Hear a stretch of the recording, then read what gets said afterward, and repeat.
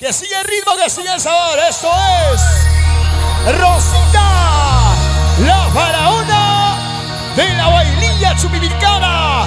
Y en la parte musical, Leales de Chupivilcas. Para todos y cada uno de ustedes, amigos.